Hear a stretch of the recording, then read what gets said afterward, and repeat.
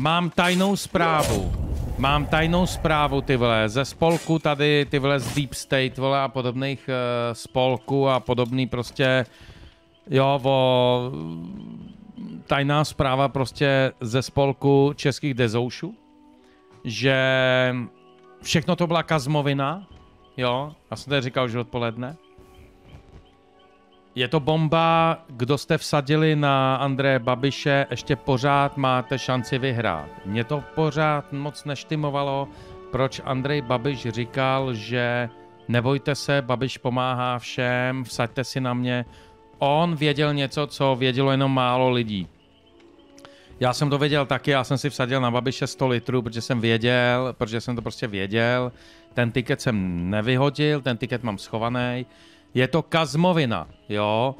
Kazma, všimněte si, že jste o něm dlouho neslyšeli, o tom týpkovi, protože on vždycky, když šel s něčím ven a řekl, něco připravujeme, tak vždycky, vole, všichni vyjeli, zašli kopat všude díry, tak si on řekl tentokrát, ty vole, seru, na to budu dělat, že jsem dead, vole, a připravím největší podvod v dějinách lidstva.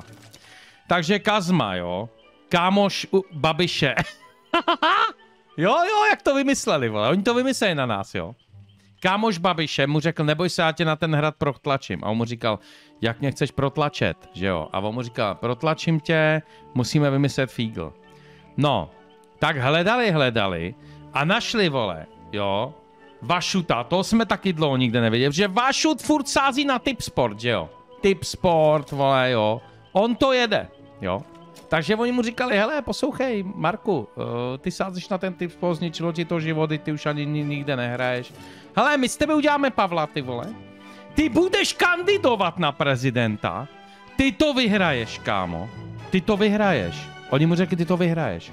A v okamžiku 8. března, ty vole, to je ve středu, myslím, 4, 5, jo, ve středu, ty půjdeš s Babišem, vole, na tiskovku, sundáš si ty vlasy a ty vousy, všichni uvidí, že jsi vašut, což uznají, vole, že uh, žádný Pavel, vole, že neexistuje, že ty my jsme prostě tě vole, vyškrábli, vole, a budeme tím bojovat i proti sázení, řekneme, jak je sázení špatný, jak, jak, je to, jak je to podvod, ty vole, jak se to jede, no a ty, protože si prohrál, tak automaticky vyhraje Andrej.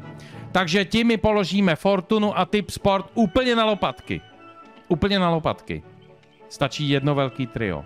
Pašut, Pavel, Babiš. Oni tři, jestli se domluvili, udělali z Vašuta Pavla, který nikdy ne- neexistoval, tak ten děda, ten děda tenkrát, jak jsme si pouštěli to video, měl pravdu. On říkal, on říkal, Pavel, to je takový vejšplechta, to někde vyškrábli. Uvidíte, vole, uvidíte. Tady se stanou velké věci.